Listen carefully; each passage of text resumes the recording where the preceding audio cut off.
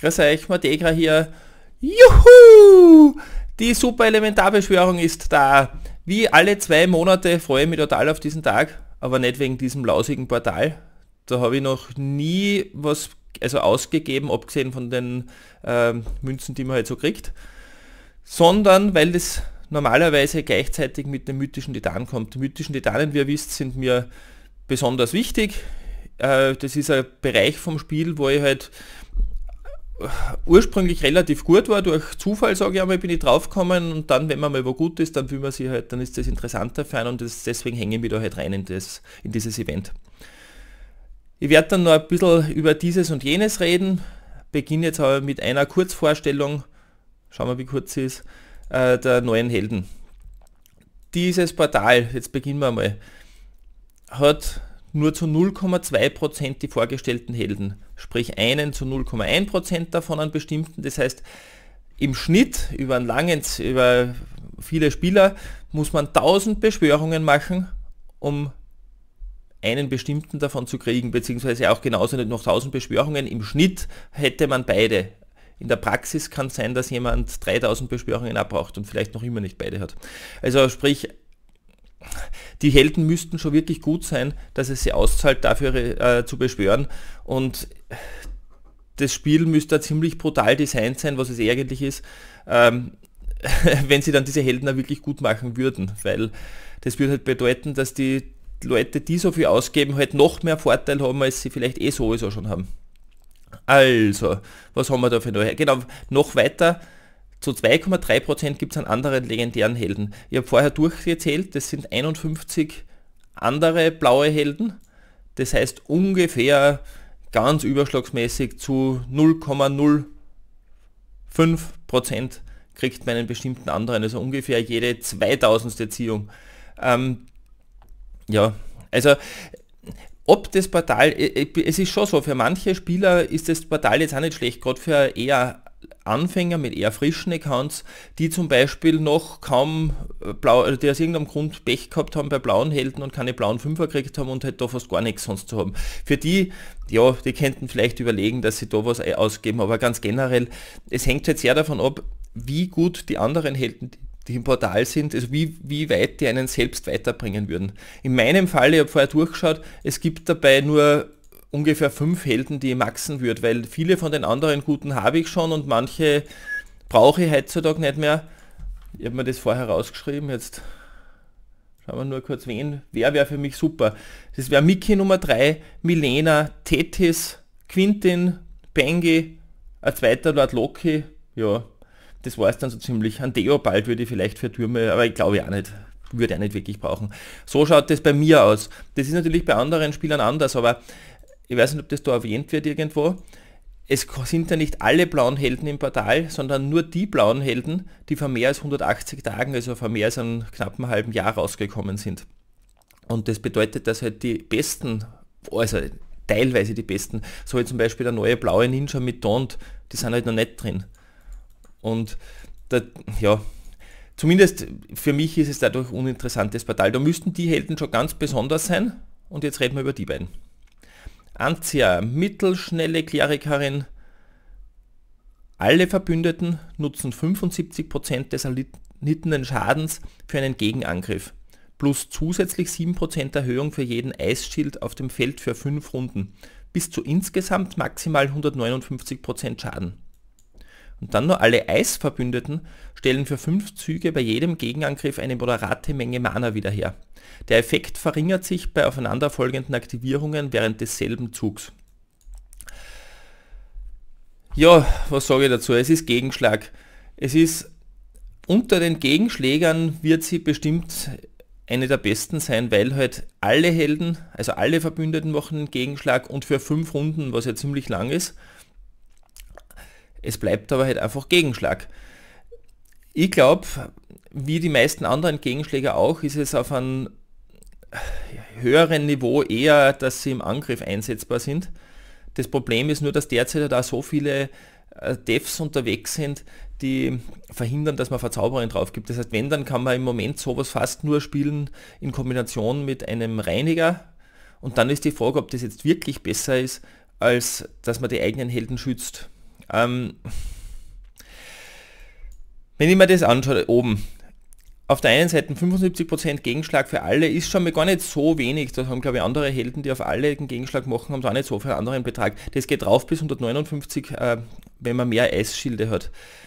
Ich glaube, dass es nicht so extrem entscheidend ist, ob das jetzt höher oder niedriger ist, weil in der Praxis ja gerade, zumindest beim Angreifen gerade, ähm, die Devs haben ja hauptsächlich Flächenschaden. Und wenn da jetzt der Dev-Held auch wenn er nur zwei Helden trifft, wenn sein Hit drei Gegner ist, wenn der zwei Helden trifft mit seinem Schaden, dann reicht es auf schon aus, dass er einen richtig harten Schlag nimmt. Bei drei ist er, glaube ich, auch schon mit die 75% ist er ziemlich tot.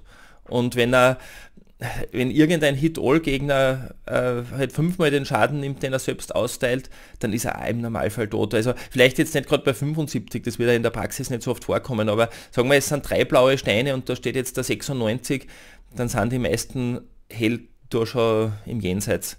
Und der höchste Betrag, ja, in der Def ist vielleicht das relevanter, weil man da auch mit den Steinen seine Helden aufladen muss und das da schon sehr weh tut, wenn die Steine äh, halt das, äh, den Schaden verursachen. Ja. Und das zweite, diese zweite Fähigkeit ist prinzipiell schon eine ziemlich mächtige, aber sie gilt halt nur für alle Eisverbündeten. Das heißt, es wird ab und zu mal eine Turnierform geben, irgendein Bonus-Booster-Turnier, wo Anzia, also wenn grün gesperrt ist, wo Anzia vielleicht ein Top-Tank ist. Ob sie deswegen besser ist als alle anderen Optionen, das ist wieder eine andere Frage. Aber da wird Anzia auf jeden Fall ein sehr guter Tank sein. Nur, ja, nur wegen so einem Turnier, also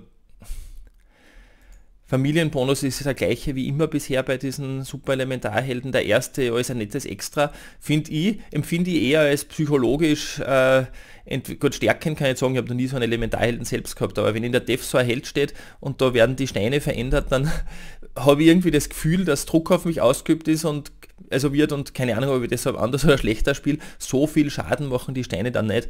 Aber irgendwie ich weiß nicht, also es, stört mich, wenn sie verwandelt werden, sagen wir mal so. Ein bisschen wird schon einen Einfluss haben, wirklich von der Spielmechanik her.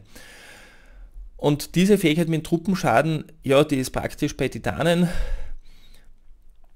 ja, wird schon ab und zu in normalen Raids und so schon einen Vorteil bringen, aber ich glaube nicht, dass das so das Wichtigste ist. Insgesamt Anzieher für mich, ja, eine gute Gegenschlägerin, aber ich bin kein Riesenfreund von Gegenschlägern, die nicht andere gute Vorteile haben. Und ihr zusätzlicher Vorteil gilt halt nur für Eishelden und ja, und das ist auch eine Fähigkeit in der Def-Stärke. Also ich glaube, dass, also ich würde sie glaube ich nicht maxen, wenn ich sie ziehen würde, obwohl es jetzt so ein seltener Held ist und ganz neu und so weiter, aber nein. Ja. Und jetzt gehen wir zum zweiten Helden. Der ist, hat eine recht interessante, also ist interessant designt ein Barbar in schnell Zenga und er fügt dem Ziel 200% Schaden zu. Das ist einmal sehr wenig. Jetzt lese ich da die, die dritte, den dritten Teil vom Special. Das Ziel erleidet 417 Frostschaden über drei Züge. Das ist noch immer ziemlich wenig. Und jetzt kommen die beiden anderen Effekte. Wenn das Ziel das Element Feuer hat, wird nahen Gegnern 450% Schaden zugefügt. Und unten nochmal, wenn das Ziel das Element Feuer hat, erhalten nahe Gegner 540 Frostschaden über drei Züge. Das heißt also, er kann sehr gut bestrafen, dass der Gegner Feuerhelden aufgestellt hat. Für die Def ist das einmal gänzlich uninteressant, weil natürlich keiner mit roten Helden angreifen wird und das ist dann ein ziemliches Gösenhammerl, da hat man in der Steiermark bei uns sagen, also sprich ein Angriff, der nichts macht, der sehr wenig macht. Im Angriff, wenn der Gegner Feuerhelden hat, das muss man sich jetzt überlegen, ist das jetzt gut, wie gut ist es? In der Praxis haben ja die meisten Devs vielleicht einen, vielleicht einen zweiten. Aktuell bei uns haben die meisten gerade einmal einen Alucard in der Ecke stehen. Natürlich gibt es manche, die haben mehrere Helden stehen und weiter hinten wird es wahrscheinlich viele rote Helden geben, die unterwegs sind. Aber trotzdem ist es jetzt nicht unbedingt Standard, dass mehrere drinstehen. Vielleicht ab und zu einmal zwei wenn man so einen Held anzielen kann, dann ist, äh, hat man damit ein wirklich mächtiges Special.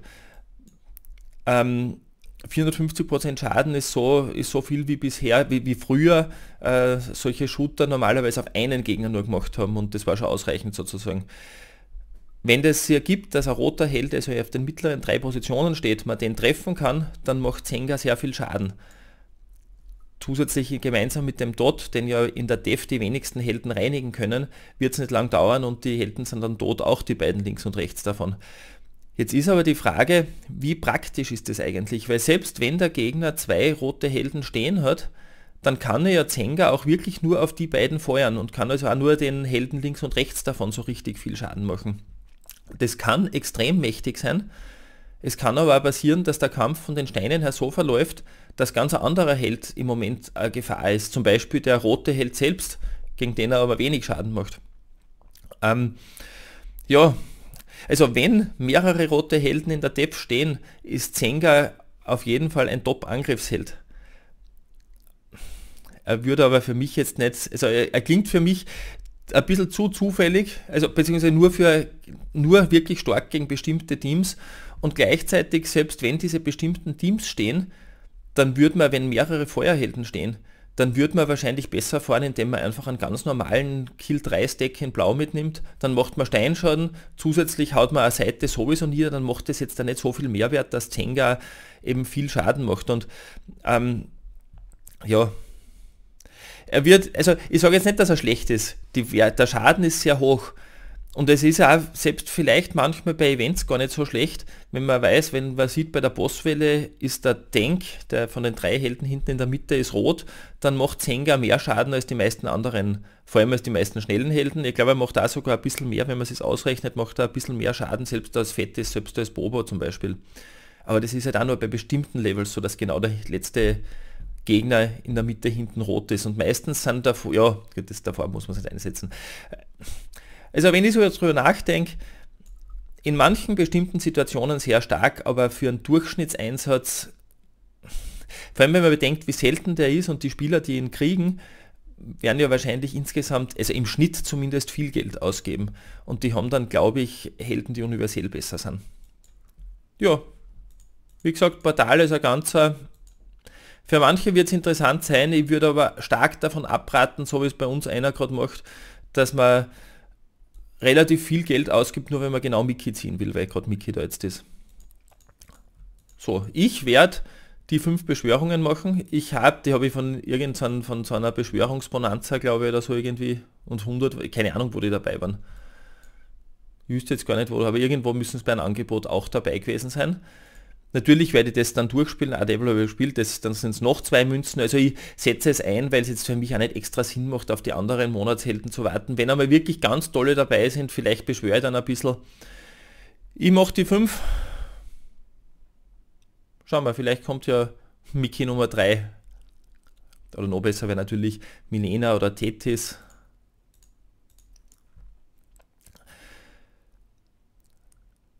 Erwarte mir natürlich gar nichts. Aber ich kann gerade blaue Futterhelden brauchen, weil ich die letzten Stufen vom Limit Break von Benki noch machen muss. Für den mythischen Titan, wo ich gleich noch kurz hinschaue. Ja, ich meine, nur drei Sternhelden ist natürlich auch nicht lustig.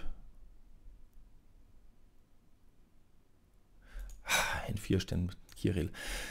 Na gut, so viel zu dem Portal. Wie gesagt, eher Finger davon lassen, wenn es nicht wirklich unbedingt äh, an blauen Helden braucht und noch keine 5 Sterne habt, dann aber auch dann. Schlechtes Portal. Jetzt schauen wir, was hat sich getan. Herausforderungsquest. Äh, Challenge Festival 1, so ist vorbei. Ich spiele da immer die erste und zweite Stufe auf die Belohnung, äh, wo man einen 4-Stern-Aufstiegsmatz kriegt und probiert da nicht zu viel auszugeben, äh, nicht zu viel äh, zu investieren, also 300 Und legendär schaue ich normalerweise in die Top 100 zu kommen, da gibt es dann zwei 4-Stern-Aufstiegsmats. Dieses Mal bin ich eigentlich locker angegangen, wo stehe ich da jetzt unten? Da habe ich meine mächtigen ähm, Kufus, die machen schon viel Schaden.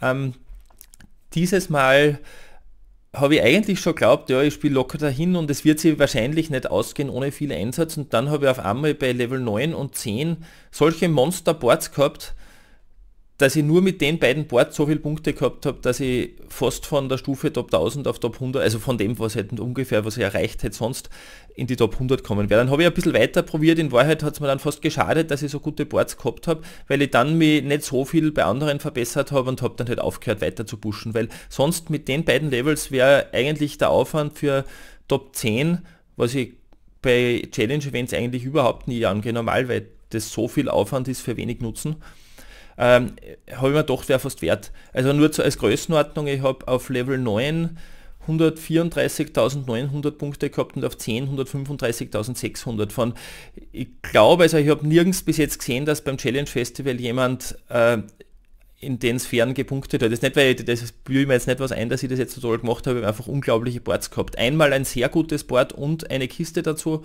und einmal einfach so einen, ich weiß nicht, das war ein 26 Sekunden Level mit einer riesen Combo, wo quasi das ganze Board auf einmal abgegangen ist. Ja, jetzt muss ich mich beeilen, meine Kiste ist zu füllen, die muss ich dann füllen. Also noch der Blick, genau da wollte ich noch herschauen zum Turnier. Drei Stern Sturmangriff hasse ich. Einfach, jetzt will ich nicht sagen,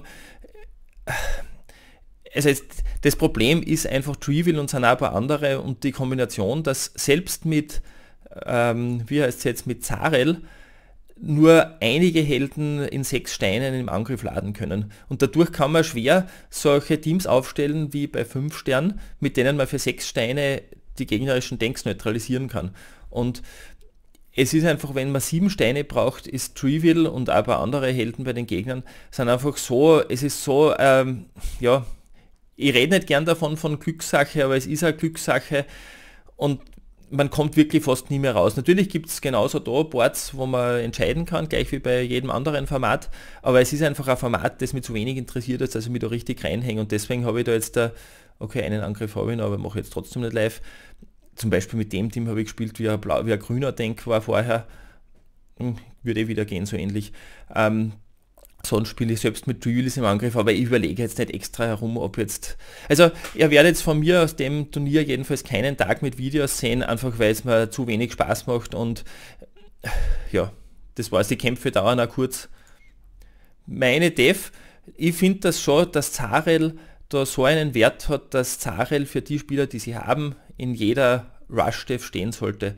Sie ist selbst von der Fähigkeit schon sehr stark, 260% Schaden auf alle, minus 34% Angriff für 5 Runden und das letzte Jahr wird auch ab und zu mal was bringen. Und vor allem beschleunigt sie alle Helden, wenn man halt das Team richtig zusammenstellt, um 5%. Das ist einiges wert und sie nimmt dann nur die Hälfte vom Deathdown vom Gegner weg. Ja, gute Heldin. Deshalb habe ich da jetzt im Gegensatz zu sonst oft bei Rush nur einen schlechter stehen, weil der sonst den Bonus von Zarel nicht kriegen wird. Und ja, ist eh schwierig, wenn zwischen wo immer neue Helden sonst rauskommen, haben jetzt eh nicht mehr alle Mewes und Norils Platz. Meine Def jedenfalls, ich erwarte mir, dass sie sehr selten angegriffen wird, das ist bei mir immer bei 3 Sternen so, weil ich da nicht so hohe Truppenstärke, also sowohl Helden als auch Truppenstärke habe, dadurch werde ich nicht oft angriffen und ich hoffe halt, dass ich die paar Angriffe gewinne. So, und jetzt noch der Blick zum mythischen Titan. Er läuft seit, was haben wir, seit dreieinhalb Stunden und es zeichnet sich das übliche Bild ab, Bengi überall, Bengi, Bengi, Bengi und wenn wir gerade aufs erste schauen, ja, die Gazelle passt sehr gut ins Bengi-Team dazu. Vor allem jetzt zu diesem speziellen Bengi, also dem speziellen Titanen, weil der ja als gelber, genauso wie der äh, lila Titan, da, den kann man nicht mit blau als starke Farbe angreifen, außer mit Loki Lachs, aber den wird man nicht spielen, nehmen wir mal an. Ähm, was will ich damit sagen? Der Steinschaden, den man verliert dadurch, dass da jetzt nur ein gelber Held ist, anstelle einen, eines blauen Helden, der ist jetzt nicht so extrem relevant. Und der Angriffsboost macht aber schon sehr viel aus für die Pinguine und deshalb ist dieses Team, wo man jetzt ohne Glender spielt, weil die Gazelle verhindert ja, dass, äh, dass man solche Boni hat, ist auf jeden Fall mit eines der besten. Ob das jetzt der Ausreißer, ich glaube das zweite oder dritte, ja, die da vorne sind gleich zwei Gazellen, aber das sind alle möglichen Konstellationen. Und ich glaube, dass der Unterschied nicht sehr groß ist. Man kann mit Athena spielen, man kann mit Glenda spielen, man kann, da sieht man, mit Perseus, das ist vielleicht der beste davon, mit doppelt kostümierten Magni für Special Devdown. Also das sind alles Optionen und ich glaube, dass der Unterschied relativ gering ist und dann mehr vom Board und halt vom äh, Geschick, wie man halt das, wie oft man seine Helden laden kann, was da sehr wohl auch mit Geschick zu tun hat bei den Bengi-Teams. Also das hauptsächlich davon kommt. Wenn man jetzt nämlich rüberschaut, was eher relevant ist über einen längeren Zeitraum, über drei Angriffe, ja, da sind in dem Fall jetzt wieder gerade wieder welche ohne die Gazelle fahren. Ich glaube, das ist wirklich sehr ähnlich. Das taugt mir, dass da jetzt endlich auch ein lila Team vorne dabei ist. Ich glaube nämlich, dass lila sehr wohl auch sehr gut ist. Also ob es jetzt, der die Bengis habe ich vorher schon gesehen, der hat es falsch aufgestellt, dass Gazelle keine Minions kriegt, trotzdem viel Schaden gemacht oder da Gelb, das ist einer von unserer Allianz, hat sich schon gefreut, weil mit Gelb sind 4,5 Millionen mit drei Angriffen recht gut. Also es werden die Banger-Teams die besten sein und es vor allem, weil sie so konstant den Schaden machen. Es gibt einfach keinen Angriff, den man mit Doppel-Bangi macht, der weniger, und wenn man ihn gut spielt, der weniger als, sag mal, 1,4 Millionen machen sollte. Also das geht fast nicht, wenn man es nicht fast bewusst drauf anlegt, wenn man die guten Helden dafür hat. Bei den anderen äh, Farben ist es so, ich glaube schon, dass da vorne Ausreißer kommen werden mit richtig hohen Schäden. Jetzt muss ich schauen, habe ich das offen noch? Ich habe es noch offen. Die Ergebnisse nämlich vom letzten Mal. Da habe ich einen Angriff mit 1,82 Millionen gehabt mit Gelb. Und wenn man jetzt sagt, es gibt jetzt doch ein bisschen, es hat sich alles ein bisschen entwickelt, ein bisschen mehr Truppen oder kostümierter Leonidas, der hat jetzt das Doppelkostüm bei mir, macht Barbaren schaden viel, weil er ja dieses superiore Talent hat, ein bisschen mehr Angriff und so. Also ich glaube schon, dass ein paar Prozent wird der Schaden gestiegen sein, es ist jedes Mal so. Ähm, also so hohe Schäden sind auf jeden Fall auch mit Gelb und mit Lila möglich. Mit Lila vielleicht sogar noch mehr, wenn man die neuesten Helden hat. Aber das Entscheidende ist, wenn das Board nicht so gut ist, dann kann es halt auch damit passieren. Das letzte Mal wieder Angriffe gehabt mit nur genau einer Million, habe ich zwei Angriffe gehabt. Das kann eben auch passieren. Und eine Million, da fällt man eben dann im Vergleich zu den Bengis, die eben fast garantiert ihre 1,34 Millionen haben, fällt man ziemlich zurück. Werden wir schauen, wie es bei mir ausgeht. Ich habe ein, ich habe inzwischen zwei Bengis, und ich habe sowohl in Gelb als auch in Lila ein fast perfektes Team. Aber es gibt inzwischen, gerade wenn drei Farboptionen sind, gibt es halt sehr viele, die so gut aufgestellt sind. Und es gibt eben manche Spieler, die haben sechs oder acht Bengis. Und das wird halt einfach schwierig. Aber trotzdem, mein Ziel ist, ich will ganz vorn stehen am Schluss, schauen wir, ob es geht. Zumindest irgendwann im vorderen Bereich kommen. Und das Allianz ist natürlich auch ganz wichtig. Wir waren bis jetzt immer Erster, wir wollen Erster bleiben. Unsere Hauptkonkurrenten sind immer Gypsy Danger und meines Wissens nach haben die bei den Bengis ziemlich aufgerüstet. Schauen wir, wie es läuft. Ich glaube schon, dass wir noch Favorit sind, aber ja. Habe ich recht lange als möglich erzählt. Jeder hätte, wenn er wollen hätte, äh, wenn er gewollt hätte, sofort nach der Vorstellung der Helden abdrehen können. Bei denen, die bis jetzt durchgehalten haben, danke, dass ihr so lange zuhören wollt. Macht's es gut. Bis bald. Ciao.